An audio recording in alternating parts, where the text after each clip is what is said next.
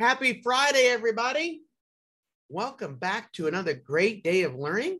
Uh, hopefully, everybody has had a great week. Uh, good start the first quarter. Um, March Madness is going on. Uh, I do believe, like I'm recording this on Thursday night, so I'm not certain who won and who didn't win. But I think Iowa just lost. And so that's kind of hilarious to me. So let's get to announcements. All right, today is Friday, March 18th, 2022 two. And these are your morning announcements. The mission of Westlake Middle School is to reveal the genius of each Wildcat through a culture of joy, respect, and excellence. All right, let's get Wildcat ready, everyone. Our winter coats, backpacks, and purses are in our lockers. Our hats are off. Our hoods are down. Our AirPods are in our pocket. Our phones are in our lockers. Take a look at today's schedule. It is period advisory, and then it's periods four, five, six, seven, eight. Women's History Month, honoring the contributions of women. We asked the question Who was the first woman to be named Sports Illustrated Sports Person of the Year?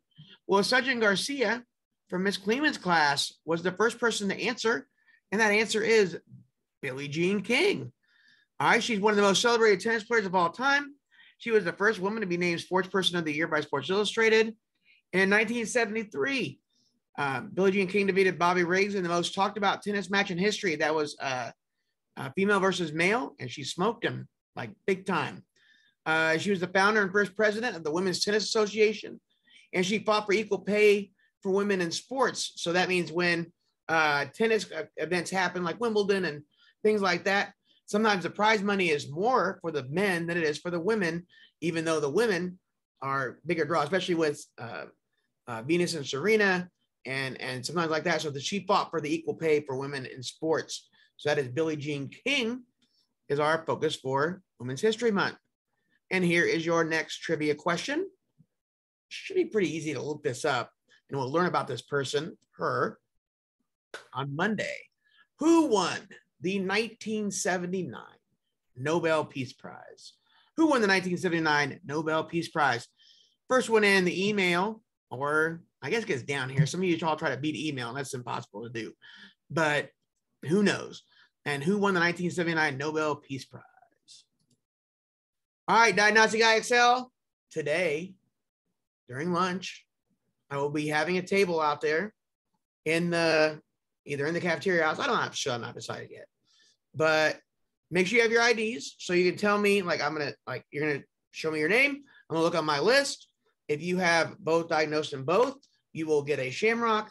That could be worth uh, could get you a sucker, it could get you a Gatorade, it could get you a candy bar, you get you a whole big bag of Takis, a small bag of Takis, or maybe it could get you a $20 bill. And so that's going to be today during both lunches. And so if we and if we miss you too, I will uh, keep those shamrocks and pull you on Monday. I you know I don't want to I don't want you to miss out if you're absent today. Of course, if if you're absent today, you're not watching this. I just figured that out. Mr. Pitcock a little slow on the uptick sometimes, so uh, we'll make sure you get it the next day as well. Then we get Roarbucks. You can purchase things with Roarbucks, and we'll bring back the Roar box for a year. We'll bring back the Roar box next week. Uh, we'll pull out spring break. We'll put some cool stuff in there too. Uh, Chromebook usage. Students, please take care of your Chromebooks. Uh, students that intentionally break their computers, their bezels, their hinges, their screens, or their or continue to lose their computers will not receive new ones unless you uh, pay for the old breakages. And the bezel is around your screen, so don't remove those. All food should be in the cafetorium. No food should be eaten outside the cafetorium. And no juice boxes should be taken out at breakfast, period. End of discussion. No milk cartons should be taken out of the cafeteria. End of discussion. If we see you with it, we're going to think you're, you know, you're breaking a rule and we'll give you a consequence. Speaking of food, we are unable to heat up food or cook food eh, for students. Students, you need your ID at all times, especially in the cafeteria. I will use it for breakfast and lunch. You know, it's not going to be noisy in the cafeteria too. So I do want you to have your ID tomorrow, uh, today to go over for your Shamrock as well. All cell phones are in your locker between 9.15 and 4.20. They'll be taken if they're seen or heard. And let's talk about advisory. Talk about advisory today for March 18th. It is all A plus days. Now, if you want, if you tell me, if your teacher calls me and says, hey, some of my students want to work on diagnostic IXL, don't start the shamrocks yet. I'm more than fine with that. I can pull like I I just write your name on a shamrock. I don't have to write your name on there. I just write on what's behind there. That's not a problem. Uh, let me know. and then we'll go ahead and um, uh, we'll go ahead and then uh, give you one uh, tomorrow. If you want to spend a little time this morning, I can run my list right before going to lunch uh, by the end of advisory. So I'll just say by the end of advisory, I'm pulling that list for for lunches if you want to spend some time in here. Just a word, uh, those of you who are going out for spa day in the future because the weather's turning nice. Um, we really got to avoid the track because it's under construction and we we're but it's not safe out there. For the track team, it is. We've got some different things we put in place for that.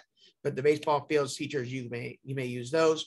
Also, to my walkers, uh, really, we do not want you walking to school at all. Uh, we want you to take the bus because it's very unsafe uh, at 73rd at 71st third and ditch over here, and then crossing either way is not safe. So please take the bus into school. And that's what uh, I really want you to understand. So walkers, there is really no one who is supposed to walk here at school. Everyone is assigned a bus. And so we really don't want anybody walking to school. Don't forget every walk and every day gets better. Again, walking to school, I really don't want it. So don't like, and it's very unsafe over here. We have people who come in late, like, like there's just, it's just an unsafe area. It's not your fault. It's not the school's fault. It's the way that they're like constructed around here. Not enough sidewalks, not enough like crosswalks. That's an issue. And it's not, again, it's not your fault, but walking to school is really, we don't want to do that here because we have so many, we have buses for everybody. And so let's make sure we're riding the bus in and not, and not walking to school. It's very unsafe around here. So everybody have a great Friday and we will see you around. I hope we'll see you at lunch with a shamrock.